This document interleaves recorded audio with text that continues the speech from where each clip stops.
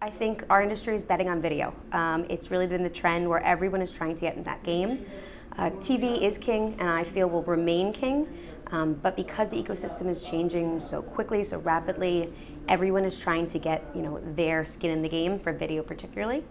Um, so we've really seen like how much this environment has changed in Newfronts. It really you know over the years, it's been. Uh, was your traditional digital video av avenues, and now it's like this morning I was at Business Insider, and all these different vendors are getting space because they want to be known for their video content. Because I think everyone is making that bet that video is the future of, of digital, TV, all of it just merging together. You have to you know, make sure that you are aligning with the, envir the environment. So social, you need to be that short, engaging get someone's attention without sound, where you also still need that longer form content, that custom content, that personalization, depending on what your brand is, is trying to do. Um, it's an interesting space right now where it's what does your client want? Do they want their digital video to act like digital or do they want it to act like TV? And so it's building strategies that really align with whatever flavor the client is trying to do and what their goals are.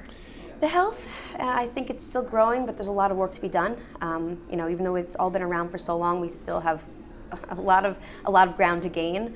Um, it's really about vigilant, being vigilant about how you're monitoring your inventory, how you're monitoring, make sure you have ad verification on every area, pushing our vendors to be open to third-party measurement, um, as certain ones are, are, finally getting in that game, just so we can understand where the ads are delivering, so we can confidently talk to our clients and say, you know, your, your environment's safe, we're in, in content that is right for your brand. So it's just really making sure you're looking at your data, you're monitoring, and you have health guidelines, you basically have thresholds that you're making sure that nothing is impacting the effectiveness of your campaign.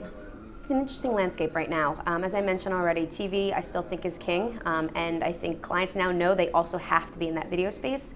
But it's kind of like TV is trying to act like digital with some of their advanced TV options like addressable, and then digital is trying to act like TV with their original content and basically how the different buying models are involved in, in buying like, you know, by, on broadcast like TRPs. So I think it's still, we're trying to find our way through it. Um, at our agency, we try to build a path that is best for our clients. We have a few different options they can kind of take based on their goals. Do you want it to look like TV? Do you want it to look like digital? And how we buy it and buy it alongside our broadcast counterparts. So I think there's so many paths to take in digital video right now, and it's really just finding the one that meets your client's business goals. So we send a number of people to different events throughout the two-week period, um, and we have them come back and share basically the key insights from each event with the entire company.